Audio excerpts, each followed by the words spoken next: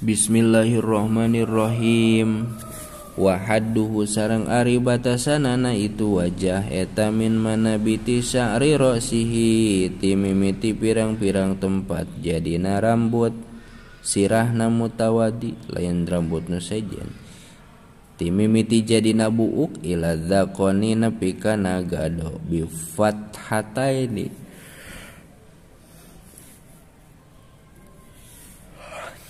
kalawan patah dua nana zal jeung kopna. Zakoni.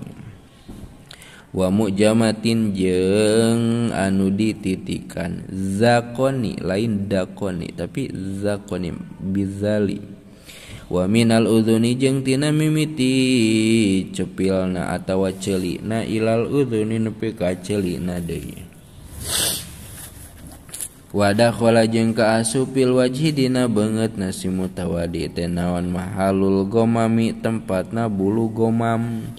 Wahwa jeung ari itu mahalul gomam teeta jabahatul agomi bulu sirah anu turun kana tarang. Allati anu yan butuh anu jadi alaiha dina itu lati. Dina tarang? Naon asya'ru bulu. Idla ibrota karena hente dihitung binabatihi kalawan jadina itu gomam fi goiri mahalihi dina lianti tempatna itu gomam. Kama sapertikeun perkara la ibrota anu hente dihitung alias direken bin hisari sa'rin nasiati kalawan turuna rambut nasiah rambut eta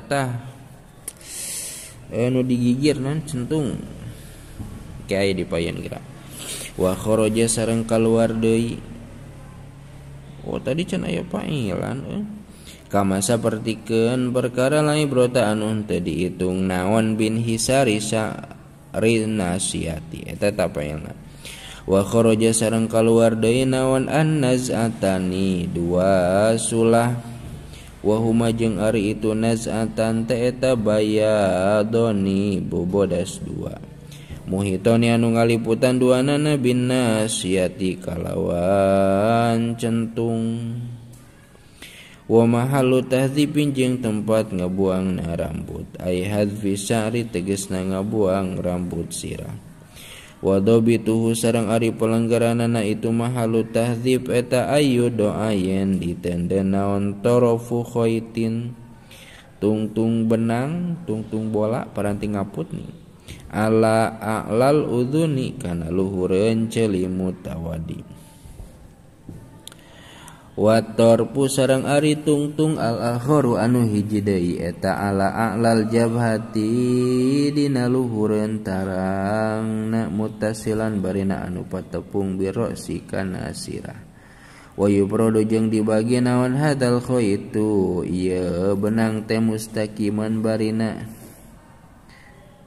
anu panceg pama maka ari perkara nazala anu turun itu ma anhu tina itu khaid Ila jani Bilwaci karena gigirna banget bahwa tahari itu umatama halutahzipi tempat Nami rambut. Sumia dingaranan itu tahzib-tahzipan karena ngabuang.